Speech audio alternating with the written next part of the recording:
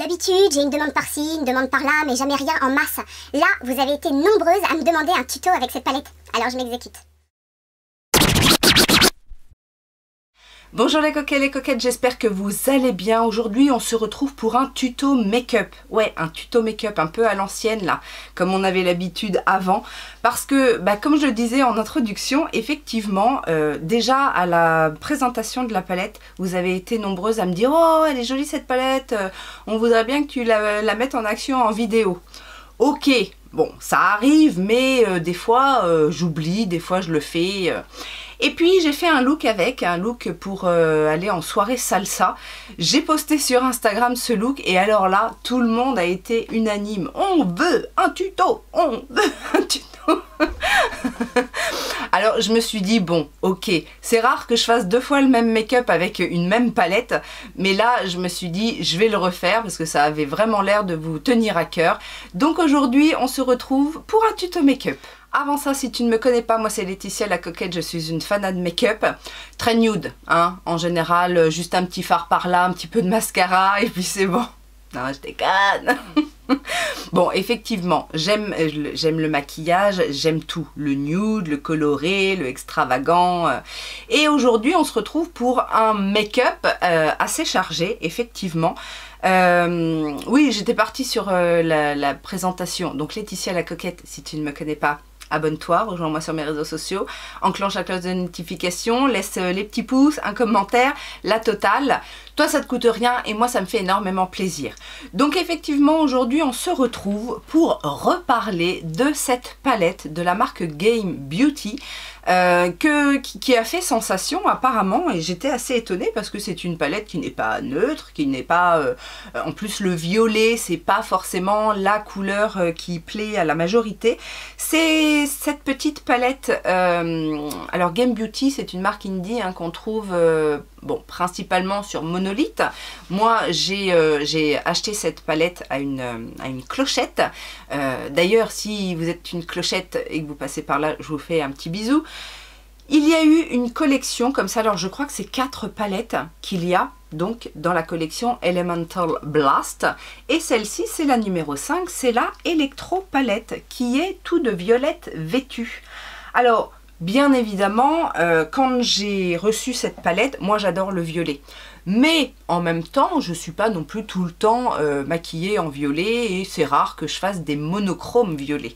Cela dit, quand j'ai vu cette palette, je me suis dit elle est plutôt sympa, notamment avec ce fameux phare ici qui est complètement euh, multichrome avec plein de fines paillettes, il est magnifique. Donc j'ai réalisé ce look. Je vais bien évidemment vous passer les swatchs parce que euh, même s'il n'y a que 9 fards dans cette palette, ils sont quand même très bien. J'ai trouvé que les mats étaient très bien fichus parce que vous avez vraiment une déclinaison dans l'intensité des fards. Il y a un petit euh, mauve très clair, il y a un petit mauve qui tire sur le rose et après il y a quatre violets euh, qui, qui franchement on voit une différence. Et ça, pour moi, dans une 9 phares, c'est quand même très important d'avoir euh, bah, 9 phares qui sont très différents. Les lumineux, il n'y en a que 3. C'est là où peut-être ça pêche un petit peu. J'aurais aimé un, petit quatrième. Euh, mais bon, c'est pas grave. on fait avec. On en a un qui est euh, clair, scintillant, magnifique. On en a un qui est légèrement métallique, un petit peu plus foncé. Et il y a ce fameux euh, multichrome qui est euh, d'un crémeux, d'une finesse. On a l'impression effectivement de se, parer de métal sur la paupière. Ça, fait vraiment son effet. Et donc, bah, du coup, j'ai réalisé ce look. Alors, je l'ai peut-être fait un petit peu plus intense euh, sur mon look que j'ai posté sur Instagram et sur Facebook et même ici d'ailleurs, je l'ai posté ici parce que il avait tellement fait fureur, je me suis dit je vais en faire profiter la majorité. je l'ai peut-être fait un petit peu plus chargé effectivement parce que c'était pour une soirée que j'allais danser, je savais que voilà, il fallait, euh, il fallait de la matière pour que ça tienne. Je l'ai fait un petit peu plus light aujourd'hui mais ça se voit pas trop.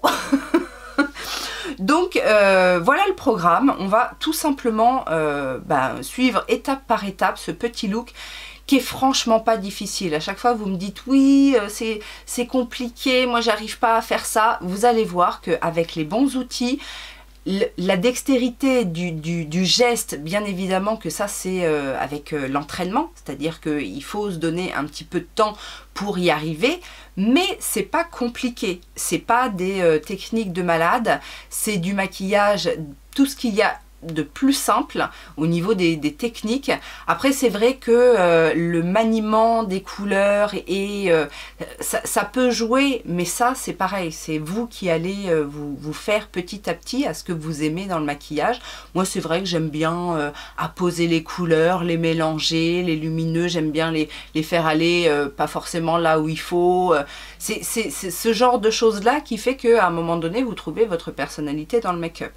Donc aujourd'hui, tuto pour un look dans la technique très simple, dans la couleur très intense, mais dans le rendu plutôt euh, glamour, euh, euh, voilà, un petit peu, un petit peu vampire bon, surtout avec les lèvres, les lèvres foncées comme ça. Mais cela dit, je vous dis à chaque fois, comme les fards se travaillent très bien et ils se, dégradent très bien, vous pouvez aussi doser un petit peu l'intensité euh, du maquillage. Voilà, maintenant que tout ça est dit, je vous laisse avec le tuto et puis on se retrouve à la fin pour faire un petit bilan, une petite conclusion sympatoche. Ok, je vais commencer avec la teinte intermédiaire ici qui s'appelle Stoneborn, qui n'est pas le plus clair, mais qui va nous permettre de, euh, bah, de faire l'encadrer en fait. Et on servira d'une teinte un petit peu plus claire pour venir euh, dégrader. Alors là j'ai pris un pinceau estompeur parce que c'est bien pigmenté. Euh, j'hésite pas à apposer la couleur dans un premier temps et après à venir la dégrader en faisant des petits mouvements de va-et-vient comme ça pour diffuser un petit peu la couleur. Après, ça dépend si vous voulez vraiment mettre beaucoup d'intensité dans le make-up ou pas.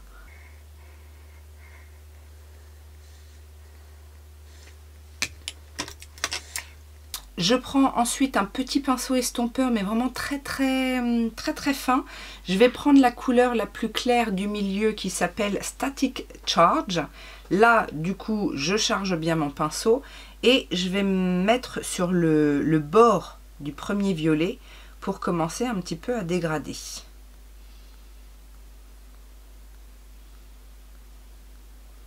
Et avec cette teinte-là, j'hésite pas à revenir en fait dans le coin interne. Ce qui va permettre de faire une première, euh, une première base.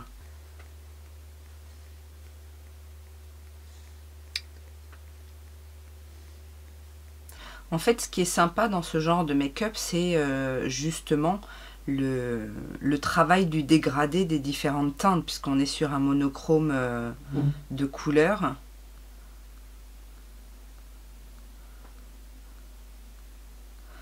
Donc c'est un, un, travail un petit peu minutieux, parce qu'en plus, effectivement, il ne faut pas hésiter non plus à revenir avec euh, les pinceaux précédents pour bien faire fondre les teintes entre elles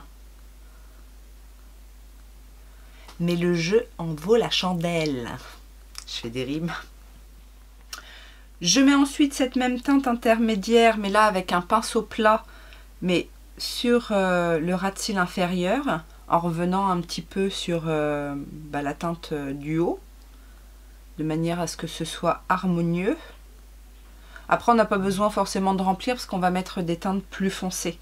Mais toujours dans l'idée de garder en fait cet esprit de dégradé donc là, pareil, je tapote la teinte pour apposer le plus gros du pigment. Et après, je balaye un petit peu. Je commence déjà un petit peu à fondre. Et rebelote avec la teinte la plus claire.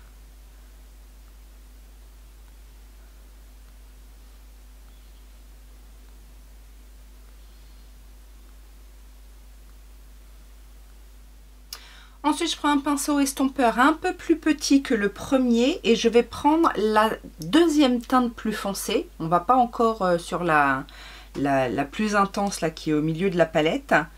Là, Je me mets au coin externe, pareil, je tapote le pigment, là où je veux le positionner, et je le fonds dans les autres, euh, dans les autres couleurs. Là, j'hésite pas à revenir un petit peu dans le creux, toujours en suivant l'os de l'arcade.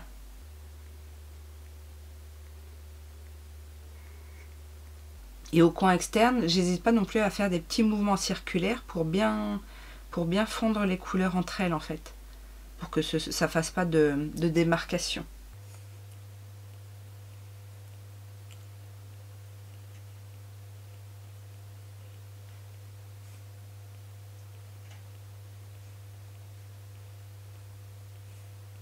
Là, je prends un pinceau plat assez ferme, euh, style un petit peu les pinceaux qu'on peut utiliser pour les fards crème. Je vais prendre euh, cette teinte qui est une teinte métallique assez, hum, assez euh, intense. C'est la teinte Megavolt, c'est celle-ci. Et je viens juste la déposer en fait sur le coin externe, fondu dans, le, dans la teinte la plus foncée. Mais mon pinceau ne fonctionne pas. Bon, j'y vais au doigt en fait. C'est juste pour euh, commencer à faire un, premier dégradé métallique pour pas qu'il y ait euh, le phare euh, à effet justement sur toute la paupière mobile et tout de suite le, mat. En fait, on, va faire aussi un dégradé dans les, types de phare, mat, puis métallique, puis duochrome, multichrome. Ça fait en plus comme une petite base pour renforcer aussi le, le phare à effet. Donc je ne vais pas jusqu'au jusqu'au jusqu'à l'intérieur de l'œil, mais je vais quand même mettre une couleur. Euh, bah, je vais mettre la couleur intermédiaire, la, euh, la Stormborn, juste balayer un petit peu pour pas que euh, pour qu'il y ait une base en fait, hein, pour qu'il y ait une base colorée et que le phare ne soit pas directement sur ma paupière nue.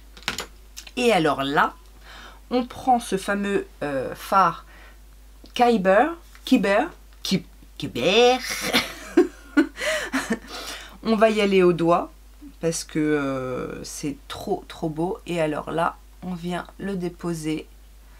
Donc, du coin interne, pas trop interne, hein, mais on, met sur tout le reste de la paupière mobile, on recouvre.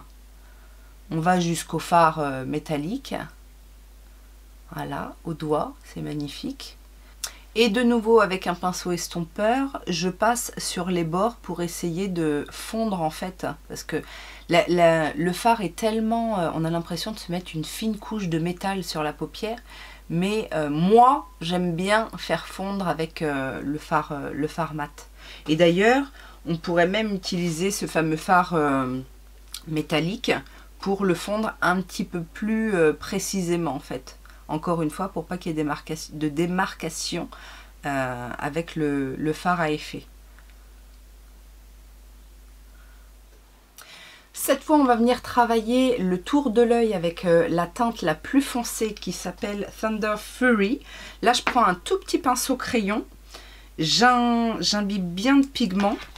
Et je vais me mettre en fait au ras de cils pour ombrer et euh, parce que je vais pas faire de je vais pas faire d'eyeliner noir mais je veux quand même intensifier mon ras de cils.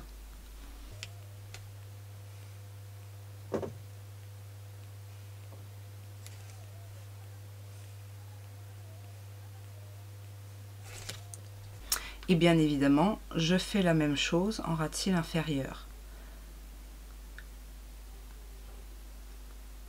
Dernière étape, pinceau mousse. Et l'autre teinte qui est très très belle aussi, la Blinded by Light, qui est la plus claire. Alors elle est un petit peu duochrome, mais pas aussi euh, impactante que l'autre. Je tapote mon fard sur l'embout mousse et je viens mettre ça en coin interne. Donc je pars vraiment du coin interne et après je diffuse sur le ras inférieur, je diffuse dans le, dans le creux là et je remonte légèrement pour fondre avec, euh, avec l'autre.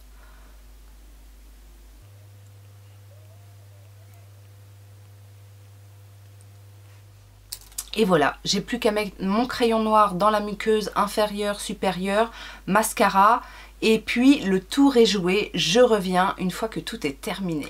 Et bien voilà, maquillage terminé, fignolé, c'est la magie du montage, n'est-ce pas? Pour vous, un quart de seconde. Pour moi, allez, 15-20 euh, minutes pour tout fignoler. Euh, bah, que dire Que dire de cette palette? Alors, c'est vrai que j'ai fait deux fois le même look avec, mais j'ai eu les mêmes impressions à chaque fois. Il y a très peu de chutes, alors attention, il peut y en avoir un petit peu quand même, mais ça s'en va assez facilement. Euh, je trouve les fards vraiment faciles.